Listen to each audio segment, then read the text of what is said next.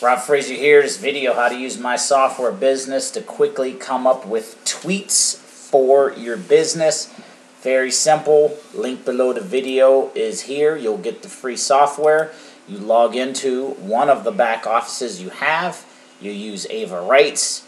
You give her the prompt 10 tweets on the benefits of using auto posting software, 10 tweets on whatever it is your business is, whatever it is it does.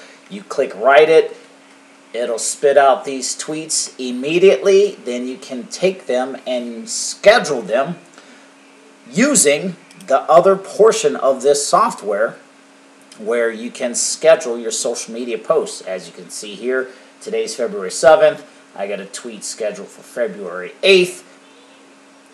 I got my Twitter account here just so you can see what it looks like. You can add pictures, you can do whatever it is you want.